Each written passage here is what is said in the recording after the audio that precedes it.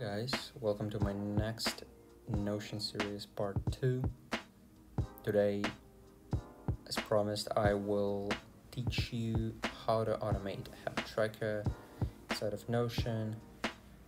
And so if you wondered how to quickly log your habits in your Notion workspace, this is the video for you. I'll show you it on a specific example how to automate checkboxes, how to edit records, not create them. So let's get started. The first thing you should do is to create a new database inside of Notion. Hit edit page, type in habits or habit tracker, wherever you want. Um, an add icon, for example a mountain. Uh, also if you don't want to waste a lot of time on creating database you can scroll all the way down to the personal section of templates and choose habit tracker. Once you hit it click use.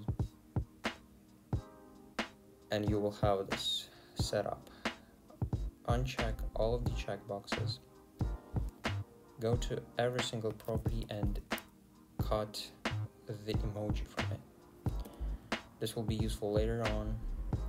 So just just do it. Uh, the process will be much more simple for you later. Clear it. And also in these brackets I prefer to type mm, to type hours instead of minutes because there will be a lot of numbers at the end of the week so if you if you noticed this will no longer change. We will not add new records new pages. This will look like that forever. Maybe this is not the best solution at the time but i think it's okay for just logging habits for tracking them throughout the week. This is my own like, own way of using it also i recommend to sum this numbers numbers of screen time hours uh, count the check percentage in every checkbox property. And you you don't need to calculate the number of weekdays. And the last part of it is the invitation of the integration. So you can actually use the integration uh, uh, that we we've built in the last video or you can create a new one because you know how to do it in white and in white notion test as in previous video. Done. Let's make sure yes notion test can edit integration okay. The notion part is now done now we should move on to alright guys uh, let's continue our process of automating habit tracking inside Notion. So the next part is of course building the shortcut. I will build it step by step so you understand how does it really work. So I'll call it habits, simply just habits. And the first action, actually two actions are going to be dictionaries. So you go to search field and add dictionary number one and dictionary number two. Right after that, you will go add new item in the first dictionary. This will be the text. And in the key field, you should type Monday, for example. The next two, only the first three letters of week each weekday should be added. Though Thursday, Friday, Fry, Set, and Sun. In, the, in this triple letter format, then what you should put here is ID for each page in Notion. So we will now go to Monday, for example, click on three dots at top right menu, click copy link, then I'll go and just adjust my clipboard, but you can paste it somewhere in your notes app and adjust this link. The only part you need is this ID. So everything what is before it you should erase and this and you should only leave this uh, line of numbers and letters. So I will leave this like that copy this to my clipboard and I'll paste it right then. Let's go to Tuesday. Three dots. Copy link. Just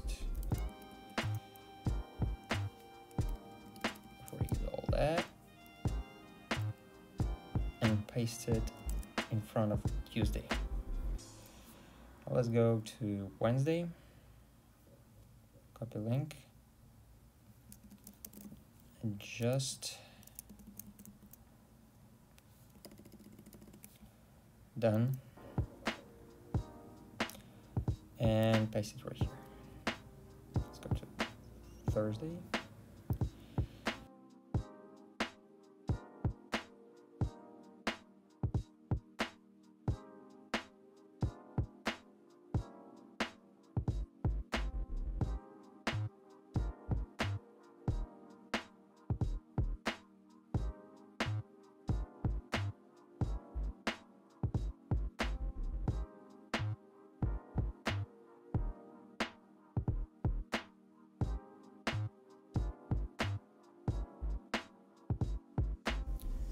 This in the second dictionary, we should add two new items to Boolean items. Make sure they are Boolean because otherwise the shortcut will not work. So in the first true statement, we'll uh, type done, for example, and the second skipped. So first, so if you have done the habit, you will choose from this dictionary this, and this will mean you've chosen the true statement. Alright, so next action is called date and it will get the current date. So if today is 2030th of July, the shortcut will know it's the 2030th of July. Like that. So now we are going to choose from menu. And in this prompt field take whatever you want. You can also do don't type anything here. Just leave it like that because it's optional. But for example I will type date. A question mark. The prompt in the field 1 today. In field 2 yes third day and in third field type clear that week. Like that. So the first option means you will go and log the habits for today. The second means you will log the habits for yesterday. And the third means you will clear the database. Clear your records and prepare for the next week. So let's go to today. And what you should do now is you go and find action called format date. Go and format current date. And let's see so click down here, click show more. In time format, click none, and in date format, click custom. And here you only need these capital E's, which will represent the first three letters of each weekday. For example, if today is 23rd of July, it is FRI. If it's 24th of July, it will be SAT all will be capitals. All capital this. it, will not mean that all three letters of weekday will be capital. So we have formatted the current date. Now let's go and format date again. Put it in yesterday field. But before, you should also find action called adjust date. Put it right before the format and you should change it a bit. So click on add and choose subtract, type 1 in the number field, select day in here and from current date. Then you go and format the adjusted date. Format it the same as uh, the today's date. Just leave only three E's in the format string. And let's move to clear the week.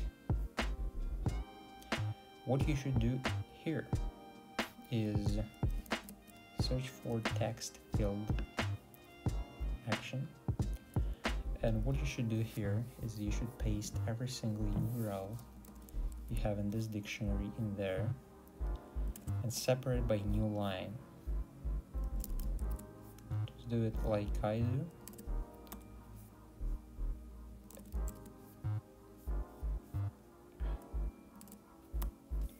the process is pretty simple and not super complicated.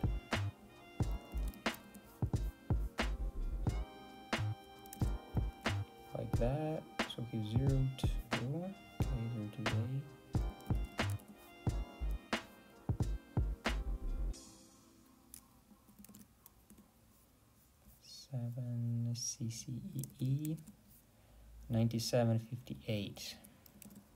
Let's count. 2, 3, 4, 5, 6, 7. Alright. Seems like everything is correct. Now let's... Oh. Uh, now let's go ahead and find for uh, find the action call split text. Put it right there. Not under the in end menu, but in here. We are working on clear the week Keep in mind that split text by new lines. Then we're going to repeat with each item in split text. Then search for get contents of URL and get contents of not repeat item. This time we should have you should use this URL template which I'll leave in the description below. So we'll copy it and right after this slash mark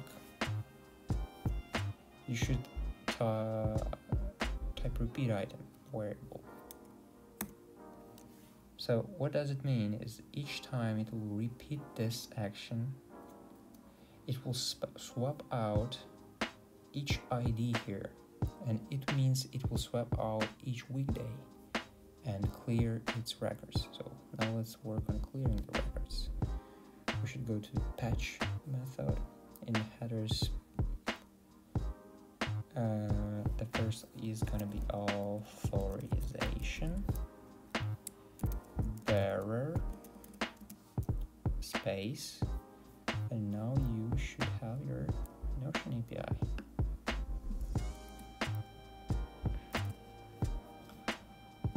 can store it in some place like um, Data Jar to only put bearer and value it will be much cleaner but you can store all info in the shortcut. It's your choice. The second is notion version. And it's 121.0513 in request body add a new field called dictionary call it properties inside of this add new item so um, the items here will be also dictionaries, but they should be called exactly like your habits. So let's put a Notion in there, and each dictionary should have the exact same name as your. Example, running. Another dictionary will be meditation. Another one, uh, seven plus hours sleep. Oh, here's a mistake. I chose the text field, but it should be dictionary too. And what else do I have? Journaling. So I recommend you just copy and pasting it to don't to not uh, fall into a spelling problem. And screen time hours, but will it will not be a checkbox, but still it is a dictionary. Screen time hours, like that. Then go inside of each of them you could do this a little bit easier, but never mind. It's boolean, checkbox, and it should be false. Leave it like that. Choose boolean here, once more. So if you understand, uh, you can just, for example, create a running dictionary, set it up like that, and copy paste it three, three more times because screen time will be a bit more different. 7 plus hours sleep. Boolean. Check box false. Journaling. Dictionary. Check box. Oh.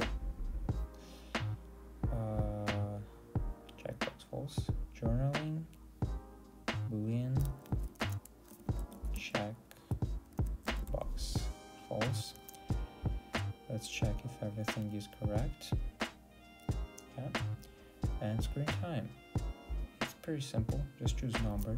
Not don't choose text. It's common prob common mistake because we are using number, not the text. The shortcut will just give you an error because the value is not found. Number and number is zero, simply zero. Hit done. Now let's test our first function of the shortcut. I will uh, like put some random checkboxes right there. Put a 5 here, 7 there, and let's run the shortcut. Play, clear the week. Uh, then you should choose OK right there.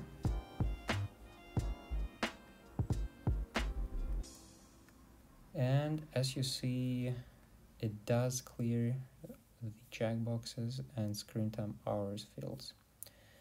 So the first function of the shortcut really does work. Congrats. Now let's close this. We probably no longer need this one. Now let's continue doing the shortcut. So after the end menu you should go and uh, search for match text. Action. And we are going to match the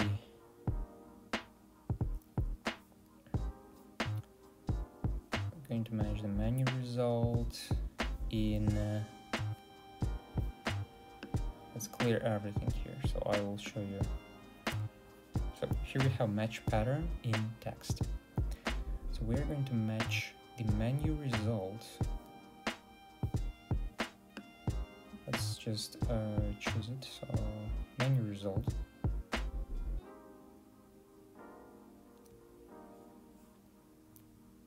In we're going to match it in select variable.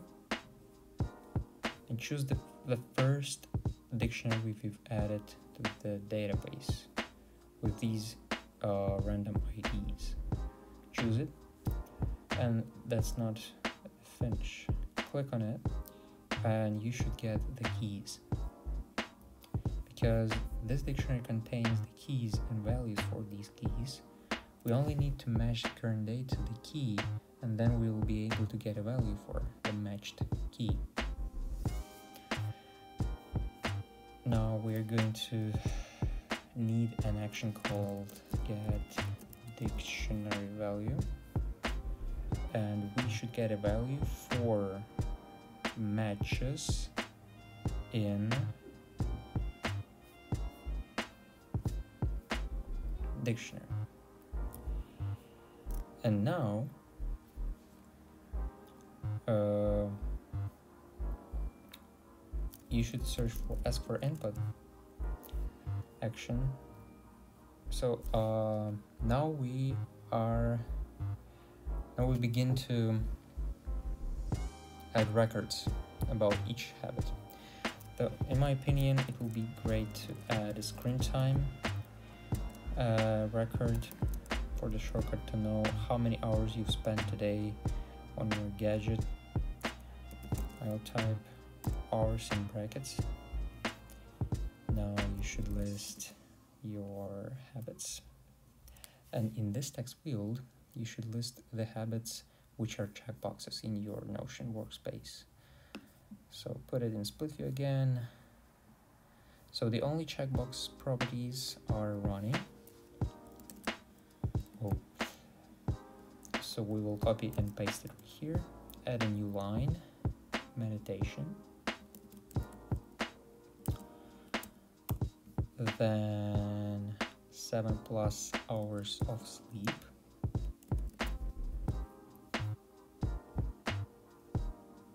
And journaling.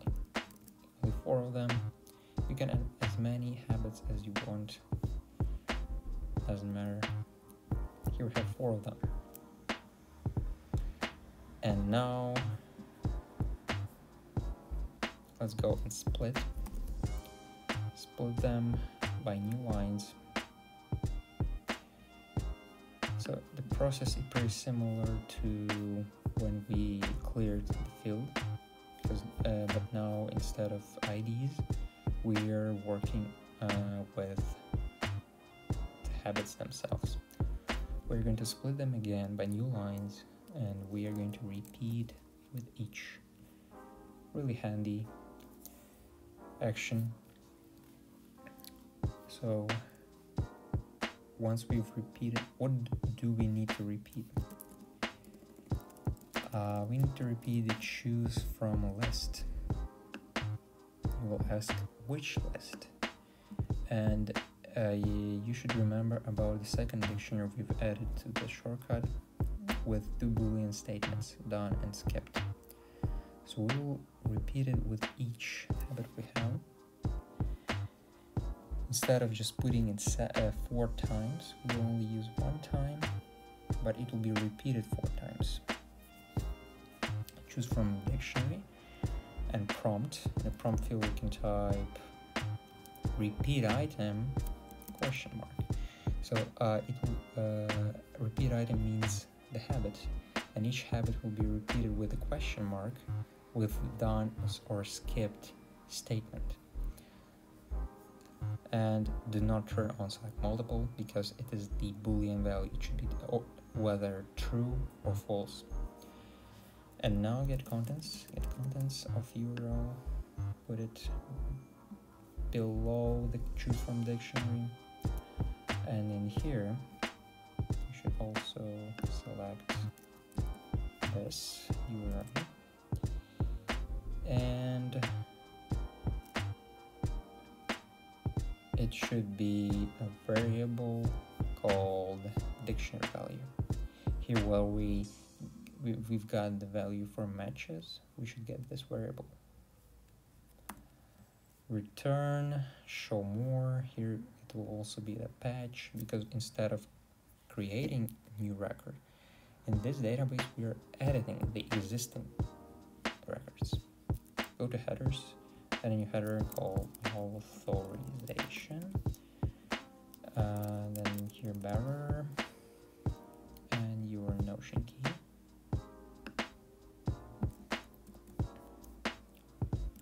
Paste it right there. Add a new header called Notion version 2021 0513 and now once we've logged in we will request the body. So it's going to be a dictionary called properties. Go inside of it. Add a new item called dictionary.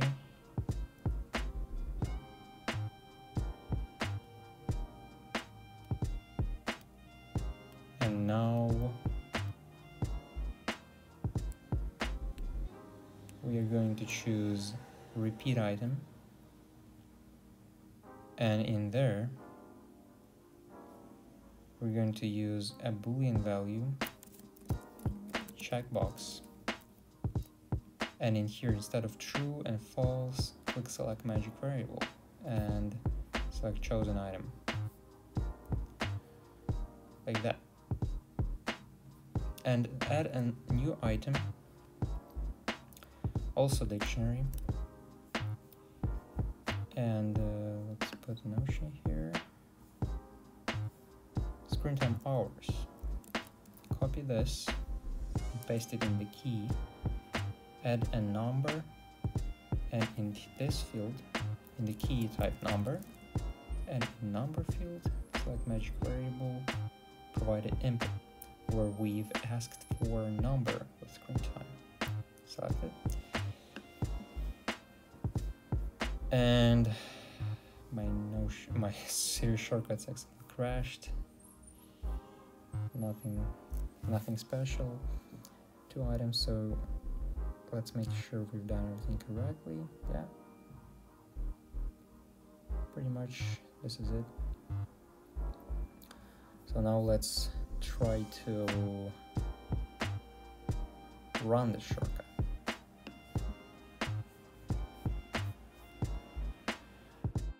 Alright guys, let's uh, test out the shortcut, the automation, whatever you call it. Here's the habit tracker. And we will try to insert some records here. Let's run this.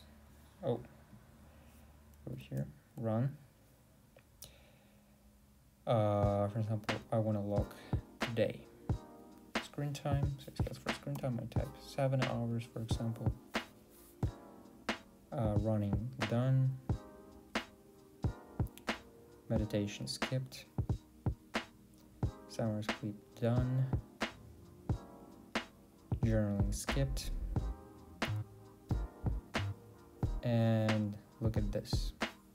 So it basically inserted everything we've uh, we've answered We've skipped the meditation, so the checkbox wasn't checked. Journaling wasn't checked. Screen time hours is 7 as we've entered the number. Uh, so now let's try to let's try to run the shortcut again and add yesterday's record. 8 hours. Running skipped. Meditation done seven hours sleep, seven hours of sleep skipped. Journaling done. And let's check it out. Yeah, everything is correct as you see. Now you can easily insert your records here.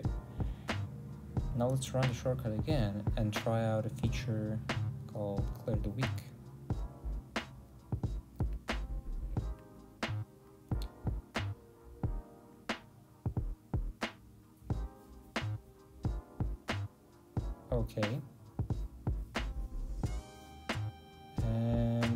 Everything is correct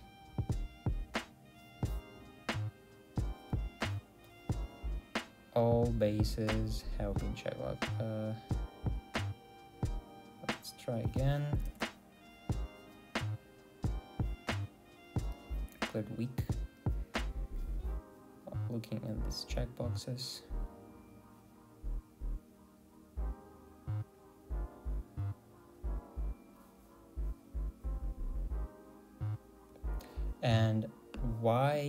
This error popping up? So I, I really